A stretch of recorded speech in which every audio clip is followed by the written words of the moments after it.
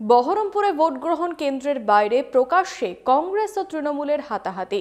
Krishnanath college স্কুলের বাইরে দুপক্ষই দুপক্ষের বিরুদ্ধে অভিযোগের সরব।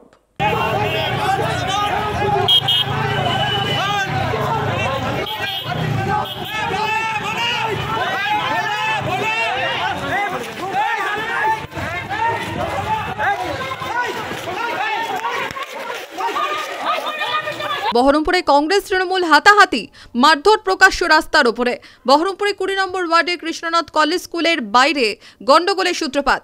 অভিযোগ সকাল থেকে গন্ডগোল লাগানোর চেষ্টা করছিল শাসক দল। পাল্টা প্রতিরোধ গড়ে তোলে কংগ্রেস। তখনই দুপক্ষের মধ্যে হাতাহাতি, মারধর শুরু হয়।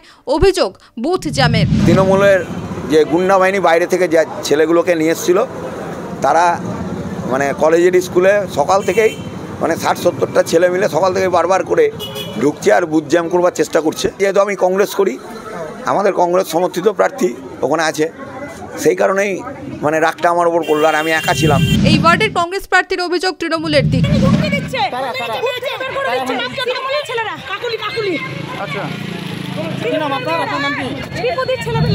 ঘটনাস্থলে আসে পুলিশ। পাল্টা তৃণমূল প্রার্থী সঞ্চিতা ঘোষের উপরেও হামলার অভিযোগ। ঘটনাস্থলে আসে পুলিশ। ঘটনাস্থলে পৌঁছন সাংসদ অধীর রঞ্জন চৌধুরী। পাল্টা তৃণমূল প্রার্থী সঞ্চিতা ঘোষের উপরেও হামলার অভিযোগ ওঠে। অভিযোগ পাল্টা অভিযোগে সরগরম হয়ে ওঠে এলাকা।